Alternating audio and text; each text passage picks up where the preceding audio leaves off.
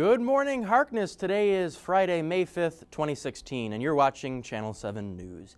I'm your host, Ryan Zunner. Please stand for the Pledge of Allegiance. I pledge allegiance to the flag of the United States of America and to the republic for which it stands, one nation, under God, indivisible, with liberty and justice for all. For the second month in a row, the aerospace upstart SpaceX landed a rocket on the ocean platform successfully early Friday, this time following the successful launch of a Japanese communication satellite.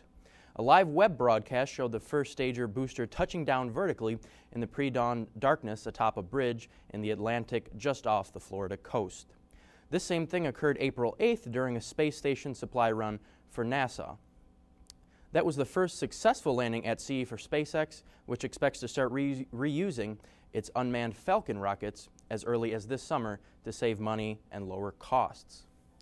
Today is the last day during Teacher Appreciation Week. Make sure to let your teacher know that you care and appreciate all they do here at Harkness, preparing us for our future in our careers and in life.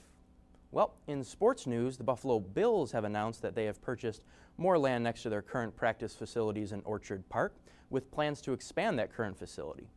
The whole project is being privately funded. Well, it should be a great weekend to head down to the ballpark to catch a Bisons game this weekend. The Bisons are wrapping up a series against Syracuse, and the weather is looking perfect. By the first pitch for tonight's matchup at 6.05, it should be about 65 degrees, and tomorrow is looking just as good as temperatures could hit around 68. Well, that'll do it for Channel 7 News this morning. Thanks for joining me. I'm Ryan Zunner, and remember, Mother's Day is Sunday. Have a great day, Harkness.